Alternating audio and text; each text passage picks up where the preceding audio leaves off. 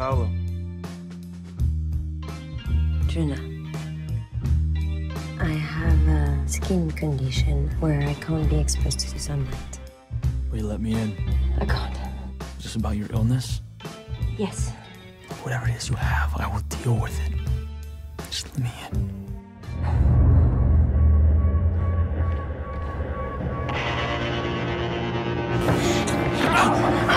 You're telling me you're a vampire? What do you think happened last night? Are you kidding me? There's nothing to worry about. You're safe. I can't hurt you this way.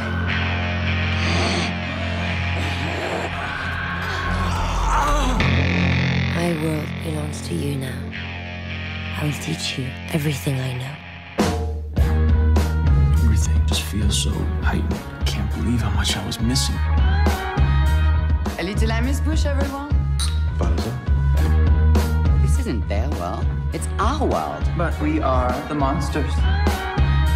Hi, I'm Mimi, Djuna's sister. I'm worried. She's not stable. Where am I supposed to go, Djuna? To a hotel? She's completely out of control. what is she doing? She'll be gone soon. Civilization is a set of moral laws. And if those laws are broken, there will be punishment.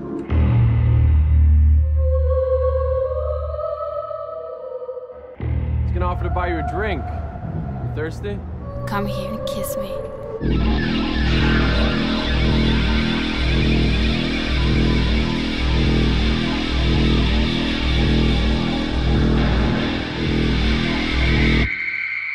Are you scared? No. I would have done anything to be with you. However insane.